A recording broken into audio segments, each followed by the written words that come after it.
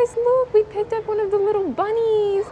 Oh, wow. Look, we're petting him and he looks so cute.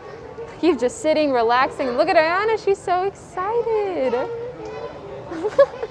Doesn't it have really long ears?